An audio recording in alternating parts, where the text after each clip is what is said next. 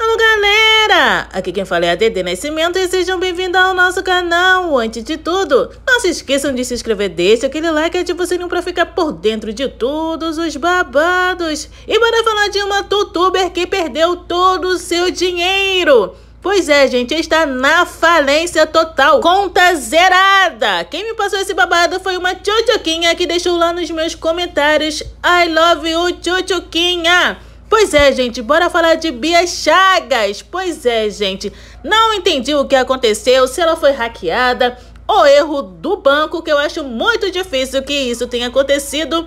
Mas a Bia Chagas, gente, está com a conta zerada. Mais cedo, ela foi no banco pois recebeu no seu celular uma transferência de 4 mil reais e que não foi ela. E ela teve a pior notícia que poderia ouvir, gente. A conta foi zerada. Mesmo ela tendo bloqueado a conta, conseguiram, gente, sacar os últimos dois mil reais dela. Pois é, Brasil. E aos prontos, ela fez o comunicado. Roubaram meu dinheiro todo da conta, gente. Foi pior do que eu pude imaginar. Deixaram nada Nada. Ela aos prantos não sabe o que aconteceu. Ela sabe que a transferência foi feita para uma única pessoa, uma mulher, mas que ela não vai revelar o nome.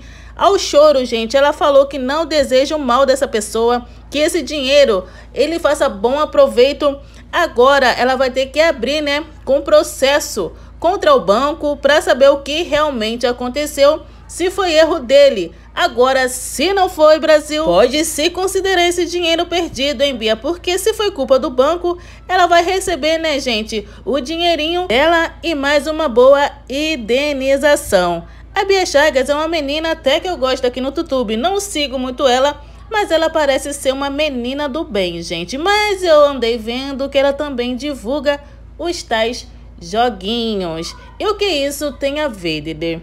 Gente, esses joguinhos não é coisa boa. Muita gente perde seu dinheirinho e quem divulga, gente, cuidado com a lei do retorno. Pois é, gente, ela está chorando agora porque perdeu seu dinheiro, com certeza era muito, mas tem gente que também só tinha aquele pouquinho e por confiar, né?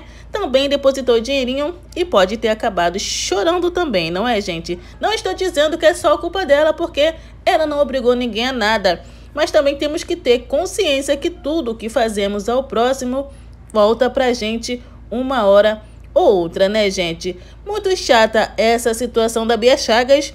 Tomara que ela consiga resolver, pois ela é uma menina do bem, gente, sim.